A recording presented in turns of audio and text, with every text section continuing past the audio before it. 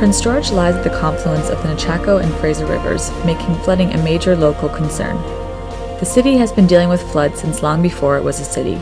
There are two types of dominant events that affect the area ice jam flooding in the Nechako and freshet or spring flooding in the Fraser. In the fall of 2007 and the spring of 2008, Prince George experienced both an ice jam on the Nechako and a freshet flood on the Fraser.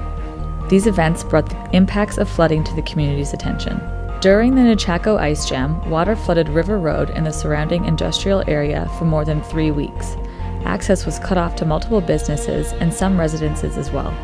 Water levels rose to within centimeters of the Canadian National Railway mainline tracks. This flooding event risked closing this important main line that connects the port of Prince Rupert to the rest of the province. Not surprisingly, flooding was identified as the second highest priority for climate change adaptation in Prince George. Flooding also relates closely to the mountain pine beetle epidemic, which affects water cycles and reduces the amount of water stored in forests due to the number of pine trees killed during the outbreak. Flooding also relates closely to stormwater infrastructure and management, which helps to mitigate flooding by storing water on site. Transportation infrastructure also relates to flooding, as roads and road safety are crucial to effective emergency response during flooding events, and roads can be designed as dikes which can prevent or reduce the amount of flooding. Largely because of the ice jam and other flooding events in 2007 and 2008, the city retained Northwest Hydraulic Consultants Limited to assess the flood risk for Prince George. This assessment involved evaluating the flood risk for the city, developing solutions for addressing the flood risk in various locations, and updating the floodplain maps.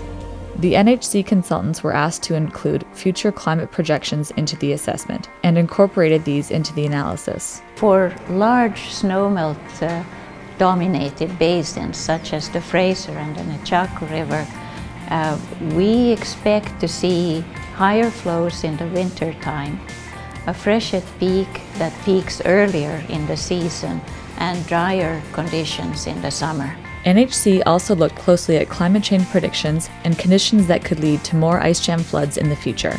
We first of all need prolonged cold periods with temperatures of minus 5 degrees or less in combination with high flows, flows that are about uh, 200 cubic meters per second or higher. So with uh, climate change, we expect temperatures to rise, which would suggest that uh, perhaps the um, likelihood of isolated flooding is going down. But on the other hand, we're expecting higher uh, flows in the wintertime, which may counterbalance uh, the temperature factor. So overall, um, there may not be a significant change. In predicting future flood levels for Prince George, NHC conducted a sensitivity analysis that considered an additional 20% discharge in the rivers during a freshet flood. The resulting flood levels indicated that a freeboard increase from 0.6 meters to 1 meter would satisfy those conditions. The city will consider meeting the 1.0 meter freeboard when building roads, developing other infrastructure within the floodplain.